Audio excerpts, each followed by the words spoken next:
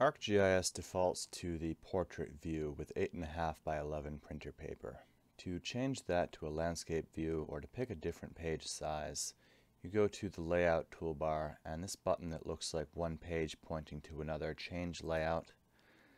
And our standard page sizes for North American printers are in North American ANSI page sizes. You can pick landscape, letter ANSI A is our standard 8.5 by 11 printer paper. We also have legal paper in our printer, 8.5 by 14. If you go to any of the other sizes, you'll have to print on the plotter. So let's go to letter 8.5 by 11 landscape. There it is. Word of warning, if you change the layout halfway through designing your map, you might lose some of your information. You want to pick your layout and then start designing your map so that you don't lose annotations or other information that you've worked on.